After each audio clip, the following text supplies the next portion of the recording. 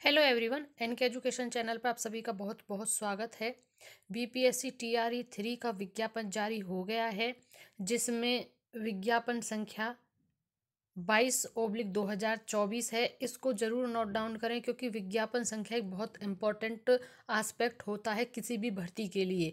तो हर एक विज्ञापन संख्या आपकी ये है, आपको इसे नोट डाउन करना है, जिसमें शिक्षा विभाग एवं अनुसूचित जाति व अनुसूचित जनजाति कल्याण विभाग, यानी दो विभाग से ये वैकेंसी निकली हुई है। एक शिक्षा विभाग ने और दूसरा है अनुसूचित जाति और जनजाति कल्याण विभाग से है।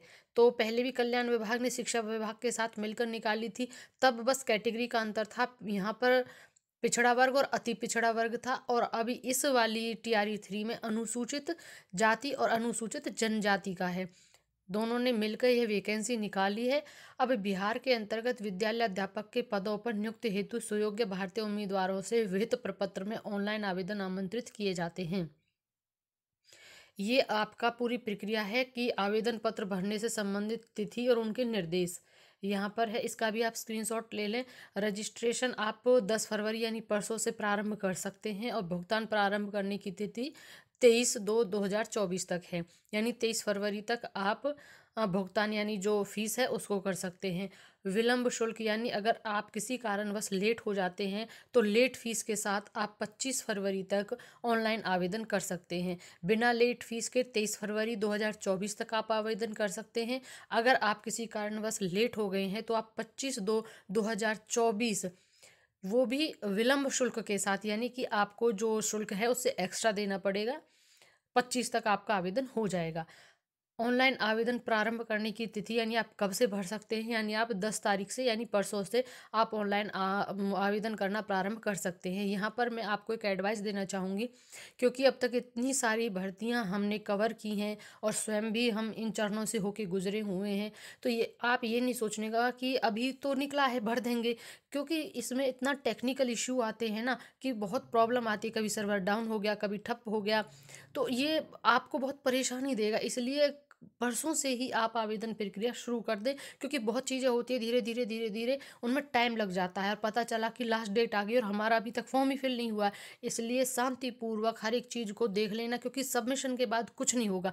किस तरीके से आपको फॉर्म भरना है, हम अपना एक नेक्स्ट वीडियो बताएँगे, क्योंकि अभी तो हमें आपको बताना था कि ऑफिशियल जो लेटर है वो जारी हो गया क्योंकि किसी भी चीज़ को देखने का जो तरीका है ना, वो किसी की भी बातों में नहीं आना चाहिए, पहले ऑफिशियल लेटर देखना चाहिए। इसलिए ये चीज़ न्यूज़पेपर में भी आई है, लेकिन मैंने आपको लेटर लेटर दिखाया जो कि विभाग द्वारा पीपीएससी की साइट से मैंने इसे डाउनलोड किया है।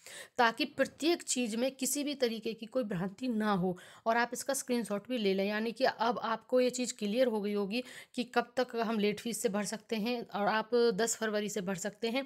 और आप दस फरवरी से ही भरना शुरू कर दीजिएगा। और ऑनलाइन आवेदन भरने की अंतिम तिथि पच्चीस दो, यानी पच्चीस फरवरी तक लास्ट है। ज़्यादा समय भी नहीं दिया गया है टी थ्री के लिए कि बहुत समय है आपके पास भर सके। इसलिए जैसे ही आवेदन निकले, परसों से आप भरना स्टार्ट कर दीजिएगा। आगे देख लेते हैं कि उपर्युक्त विज्ञापन के संबंध में विस्तृत सूचना विवरणी एवं जो भी जानकारी इसके रिगार्डिंग होगी, आयोग की website W W B P S B dot B I H dot N I C dot in पर प्रदर्शित होगी। इसी से मैंने इसे डाउनलोड भी किया है। इसको भी आप नोट डाउन कर लें। ये बहुत इंपॉर्टेंट है। जितने भी दिशा निर्देश आपको मिलेंगे आगामी इसी वेबसाइट के माध्यम से मिलने वाले हैं। ऑनलाइन आवेदन भरने से संबंधित भी विस्तृत जानकारी आपको इस वाली वेबसाइट पे मिलेगी। अगर और डिटेल में आपको चाहिए और डिटेल में क्या, मैं भी इसे करूँगी और आप भी स्वयं भी करके देख लो एक बार इसे, क्योंकि दिशा जो होते हैं ना, बिना दिशा निर्देश के कोई भी फॉर्म नहीं भरना चाहिए। तो ये वाली वेबसाइट अलग है थोड़ा उससे, इसलिए इसको भी आप स्क्रीनशॉट ले लें और इसको भी सर्च करना। अभ्यर्थी ऑनलाइन आवेदन भरने की प्रक्रिया प्रारंभ करने के पूर्व वेबसाइट पर प्रदर्शित विस्तृत विज्ञापन एवं ऑनलाइन आवेदन भरने हेतु आवश्यक विस्तृत निर्देशों का भली भांति अध्ययन कर लें। ये विभाग भी कह रहा है और हम भी कह रहे हैं। कभी भी बिना किसी की बातों को मतलब ये नहीं कि भाई उसने कहा तो मैंने सुन लिया, मैंने स्वयं ने नहीं पढ़ा, आप स्वयं पढ़ें, भले ही सुना है, स्वयं पढ़ें, देखें, उसके बाद ही कोई करे, क्योंकि भाई ये सरकारी नौकरी का मामला है, सुनी हुई बातें नहीं करनी चाहिए ऑफिशियल लेटर पर आधारित ही प्रत्येक चीज़ आपको करनी चाहिए। नेक्स्ट अपडेट जो भी आता है, मैं तुरंत चैनल के माध्यम से बताने का प्रयास करूँगी सो प्लीज़ चैनल ज़रूर सब्सक्राइब करके रखिए, ताकि प्रत्येक अपडेट आपसे जो रिलेटेड है, आपको मिलती रहे।